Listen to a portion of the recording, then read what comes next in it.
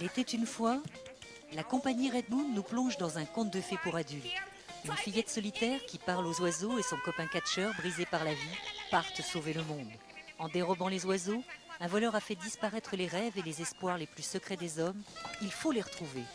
Sur scène, un petit théâtre de marionnettes miniatures, les manipulations retransmises en direct sur grand écran et un jeu d'acteurs très présent. Résultat, un formidable tourbillon où l'action surgit de partout. On prend ce qu'on pourrait appeler un art dépassé, celui du théâtre de jouets, et on le combine avec les techniques vidéo actuelles pour créer un effet cinématographique. L'intérêt était de faire se rencontrer deux médias, un ancien et un moderne, pour voir ce qui se dégageait de cette collision.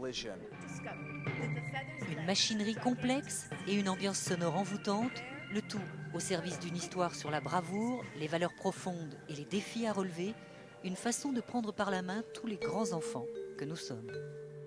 Émerveillée. mais l'actrice est vraiment superbe. Parce qu'elle joue bien. Quel, quel, changement de voix et tout ça, d'expression, elle est formidable. Quand c'est commencé, je ne suis pas sûre. C'est ah, c'est une surprise. Alors maintenant, oui, oui, c'est bien. Essayer d'effacer le gris des, usines, euh, oublier tout ça. On se laisse emporter par l'histoire et on a bien envie qu'elle réussisse à nous ramener tous les oiseaux pour nous faire oublier euh, le CO2 qui pollue. L'imagination remise au pouvoir par la compagnie Red Moon dans l'histoire qu'elle nous conte, comme dans sa mise en scène.